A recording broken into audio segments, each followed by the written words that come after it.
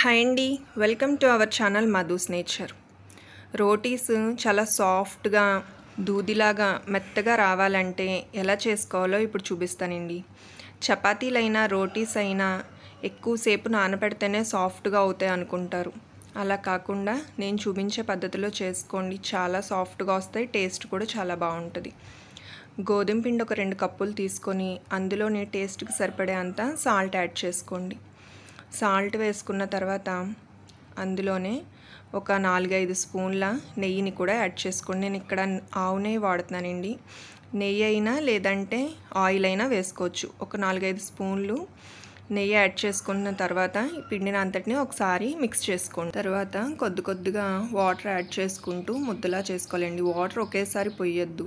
కొద్ది కొద్దిగా మన దాని కంటిస్టెంట్ని బట్టి కొద్ది కొద్దిగా యాడ్ చేసుకుంటూ పిండిని కలుపుకోండి. ఇలా ముద్దలా చేసుకున్న తర్వాత పైన మరొక రెండు స్పూన్ల నెయ్యి నెయ్యిని వేసి మరొక కాసేపు బాగా కలపండి. మనం కలపడంలోనే ఈ రోటీస్ అనేవి గుల్లదనం వస్తాయి అలాగే బాగా పొంగుతాయి కూడానండి. సాఫ్ట్నెస్ అనేది మనం కలిపేదాన్ని బట్టి అలాగే అందులోని కొద్దిగా నెయ్యి వేసుకునేసరికి సాఫ్ట్గా వచ్చేస్తాయి.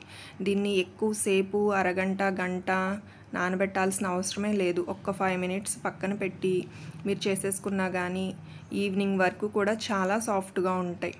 పిండిని ఇలా కలుపుకున్న తర్వాత ఒక ఐదు నిమిషాలు పక్కన పెట్టి ఈలోపు స్టవ్ ఆన్ చేసుకొని ప్యాన్ పెట్టుకోండి. ఈ ప్యాన్ నేను వచ్చేసి ఐరన్ ప్యాన్ వాడుతున్నాను.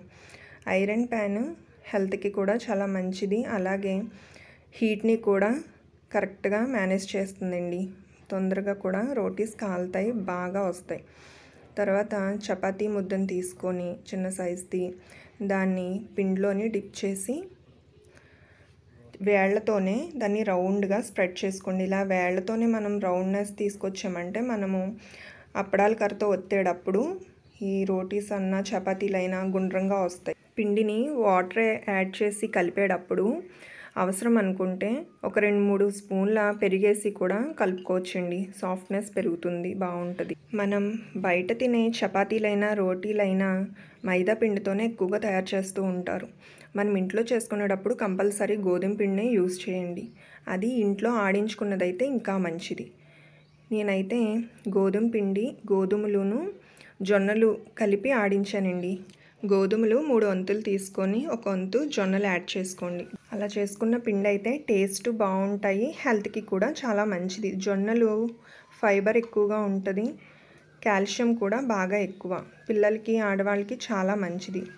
నేను ఈ రోటీస్లోని ఎక్కువ ఇంగ్రీడియంట్స్ కూడా ఏమీ కలపలేదు చూసారు కదా? అలానే రోటీస్ కాలేటప్పుడు పైన ఆయిల్ అయినా నెయ్యి అయినా కావాలంటే యాడ్ చేసుకోండి. నేనైతే ఇక్కడ ప్లెయిన్గానే కాలుస్తున్నాను. ఆల్రెడీ పిండిలో వేసాం కాబట్టి సరిపోతుంది అది ఇవి చాలా గుల్లగా ఉంటాయండి. చిన్నపిల్లలు తినడానికైనా కానీ చాలా ఈజీగా తింటారు వాళ్ళు. వాళ్ళే రెండు వేళ్ళతో తుంచుకొని అంత సాఫ్ట్గా ఉంటాయి. ఆఫీసులకు వెళ్ళేటప్పుడైనా పిల్లల్ని స్కూల్కి పంపించేటప్పుడైనా త్వర త్వరగా అయిపోవాలనుకుంటే ఇలా చేసుకోండి. చాలా సాఫ్ట్గా ఉంటాయి. చాలా తొందరగా కూడా అయిపోద్ది. ఎందుకంటే మనం ఎక్కువసేపు పక్కన పెట్టాల్సినంత పని లేదు కాబట్టి జస్ట్ టెన్ మినిట్స్లో ఈజీగా చేసేసుకోవచ్చు. ఇలా ఒకదాని తర్వాత ఒకటి అన్నీ కాల్చుకొని ప్లేట్లో పెట్టుకోండి. ఇవి డైటింగ్ చేసే వాళ్ళకి కూడా చాలా మంచిది. ఎందుకంటే ఎక్కువ ఆయిల్ కట్ట యాడ్ చేయట్లేదు కాబట్టి జస్ట్ పిండి కలిపేటప్పుడు మాత్రమే ఒక నాలుగు స్పూన్ల నెయ్యి వేసాను. నెయ్యి తినడం కూడా చాలా మంచిదండి.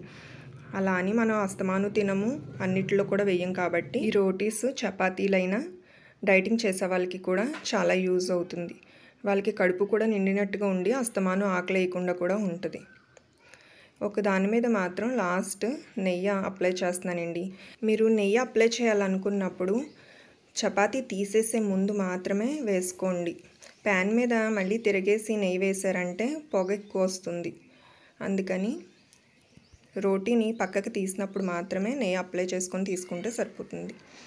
అంతేనండి ఎంతో టేస్టీగా ఫాస్ట్గా సాఫ్ట్గా రెడీ అయిపోయినాయి రోటీస్.